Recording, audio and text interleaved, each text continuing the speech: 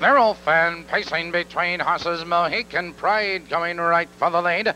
Into the turn they race, and Mohican Pride has the lead on the outside. Six Day War in second. There goes Open Up and Say Ah, third, second on the outside. Approaching the quarter, Open Up and Say Ah. He's on the outside now to take him and Mohican Pride, followed now by Six Day War. It's Richard Lomont, followed by Inside Outside. It's properly motivated. He'll be flashy and trailing. That's Party Lobel, driving by the quarter. 30 seconds flat the first quarter and open up and say ah has the lead now by two lengths. It's Mohican Pride, second two lengths. It's Six Day War, third now by two lengths, followed by Richard Lomont.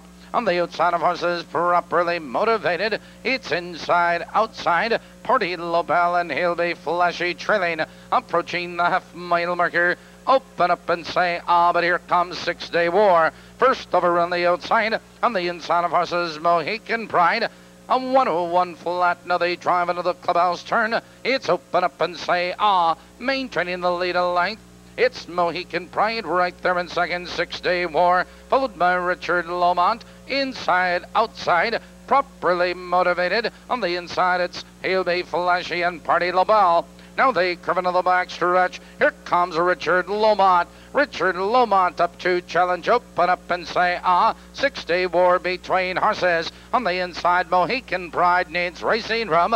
Now they drive into the far turn. Open up and say, ah, has the lead. Mohican Pride right there in second. Richard Lomont on the outside at Six Day War properly motivated. Here they come, turning for home. It's open up and say, ah, with the lead. Mohican Pride, properly motivated on the far outside. Here comes Mohican Pride between horses. It's open up and say, ah, Mohican Pride. Those two at the bar.